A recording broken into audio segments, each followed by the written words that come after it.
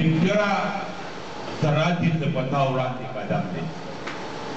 ټینکرا زراعت یې د پتا وړاندې قدم دی پټې پتا مات دی که د غر دی که د سم دی ته خپله رضا نه کړې همیش ځې د بل په خوښه هماغه کار کوې چې کړي بل درته په نښه.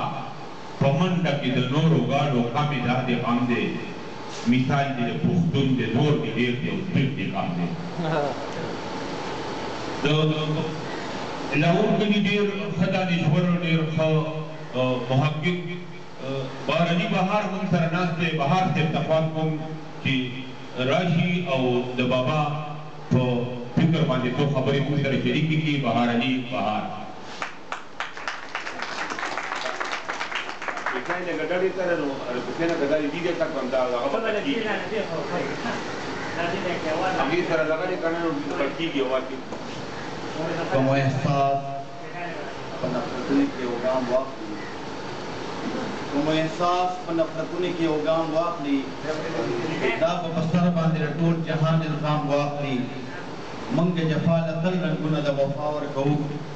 جانان په دې کې هم زموږ نه انتقام واخلي. شروع کوم په نامه د هغه لوی ذات چې بخښونکی او مهربانه دی.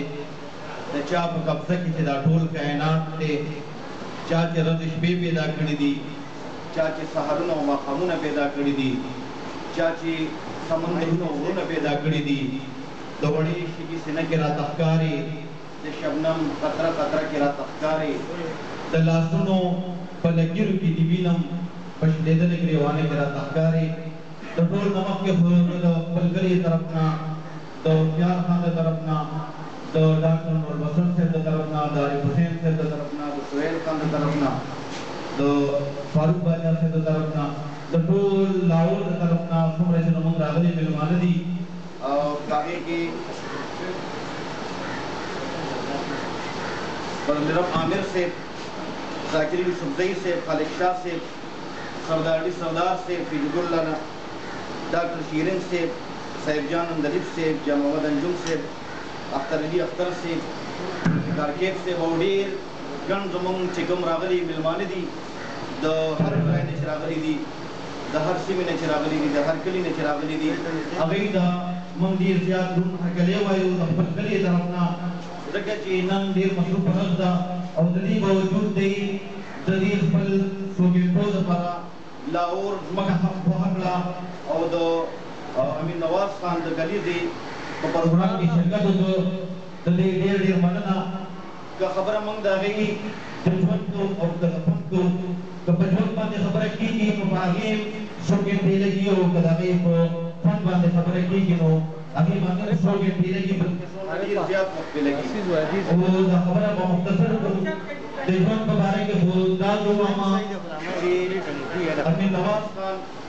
په نولس سوه او درې کې په لاهور کلي کې پيدا شو، د دومره خانۍ باوجود او د دومره لوړ شخصيت باوجود چې کوم دی نو هغه تنهايي پسند و، هغه يو صوفي انسان و او چېرې هم هغه دا نه ده ظاهره کړې چې زما دومره جايداد دی يا دومره ځمکه ده بلکې که خانانو نو هغوی سره خان و او که غريبو نو هغوی سره په خپل ژوند کې غربت اختیار کړی دی دا د هغه د لوړ شخصیت اندازه ده هغه صرف په یو فیلډ کې صرف په یو شوبه باندې حاوی نه وو هغه شاعر هم وو هغه ادیب هم وو هغه حکیم هم وو هغه د ژوند په هر شوبه باندې سنا سره مهنت کړی دی او صرف د لاهور نه بلکې د غون پښتونخوا چې څومره پښتون قام دی په هغې به تل تر تله باندې فخر کوي په هغه وخت کې چې مشوق کشوق سلطان د هغوی عوام به په ګوڼ پښتونخوا کې خوریده او خلکو به خوښو په هغوی وخت کې د هغوی سندره راغلې وه چې روږد سوال لیدل شه نی لیدل د دې نه ډیر ښه دي لباس خندا ده ژړیدل د دې نه ډیر ښه دي او دا هغه سدابهار سندره ده دا هغه سدابهار کلام دی چی نن یې هم موږ خوښوو، پرون مو خلکو خوښ کړی دی او راتلونکی یې څومره وخت چی دی، څومره چی پښتو خلک وایی، پښتو ژوندی، نو ان شاء الله دا کلام به د هغی نماینده کلام وی او په هغی باندی به هغی تل تر تله باندی ژوندی وی. هغی څو شعرونه زه تاسو ته وایم چی د خپل حصار دی د خپل حصاره دی بهر وګوره. علي صیب وایي چې د خپل حصاره دې بهر وګوره، سرې ماښام دې خپله سر وګوره او پس د مر ګین ژوندې کېدل نه ګوري او پس د مرګي ژوندې کېدل که ګورې په سر د باغ په پوک نظر وګوره. یعنې د هغوی په یو یو کلام کې وختي ما عارف صیب سره دا خبره کوله چې د هغوی د کلام د ټول نه غټ خصوصیت دا دی چې هغوی کمرتي هو قافیه استعمال کړې ده. نو زموږ چت کې په پښتو ادب کې دومره ګران لطیف او کافیه دا یو شاعر هم نه دی استعمال کړی د هغې بنیادي وجه دا ده چې که هغوی د عربۍ ژبې نه ټکی راغستی دی که له فارسۍ ژبې نه ټکی راغستی دی د هغې بنیادي وجه دا ده چې هغوی په خپل وخت کې علم حاصل کړی دی او یو ښه شاعر سره سره هغوی چې کوم دی یو ډېر لوی عالم هم و. نو دغه علميت و چې د هغې په وجه باندې هغې ټکي پېژندی شو او هغه يې راغستي دي او په پښتو ژبې کې يې داسې يې په ښکلي انداز کې بيان کړي دي چې بنده ته دا پته نه لګي چې دا ټکی د پښتو دی او که دا د عربی دی او که دا د فارسۍ دی نو دا د هغې د لوړ شخصيت او د هغې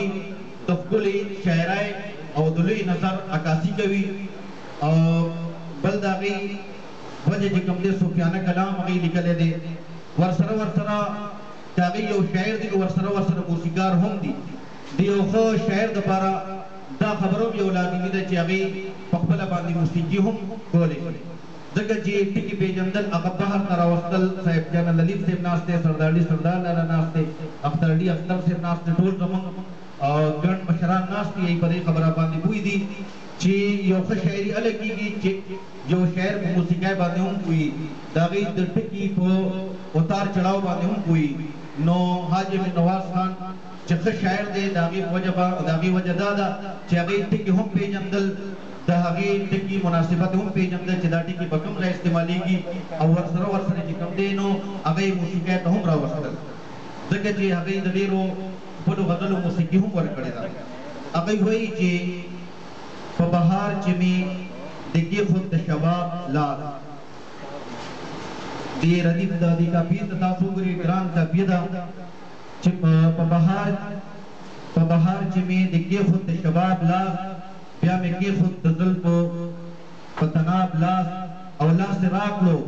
لاس مې ورکړو واده وشوه. لاس مې راکړو لاس مې ورکړو واده وشوه په موده پس امیر اولید د خضاب لاس دا د هغه یی څومره ګرانه کافیه استعمال کړی چی یقینا په پښتو کې داسی کافیی استعمالول دا ډیر ګران کار دی او د یو ښه شاعر دا نښه ده چی هغه خامخا داسی داسی کافیی راړی چی هغه ګرانې هم وی او بعضې بعضې اسانې هم کافیی هغه یی داسی استعمال کی چی هغه سره د هغه شاعرۍ او پښتو ادب ته وده ورسي نو د هغوی په شخصیت ما مخکې وویل که خبرې کیږي نو دا ټول پروګرام به ختم شي او د هغوی په شخصیت به خبرې برابر نه شي زموږ مشران موجود دي هغوی له به هم موقع ورکوو او د هغوی د صنف انتظار بلکې دا به وو چې د هغوی یو ډیر ښه کلام. چې په هغې کې هغوی ډېر ښکلې خبرې کړې دي او ډېر ښه رنګ یې ورکړی دی. هغوی وایي چې په بوره، د بوره په شان لټومه ګلان رنګ رنګ. د بوره په شان لټومه.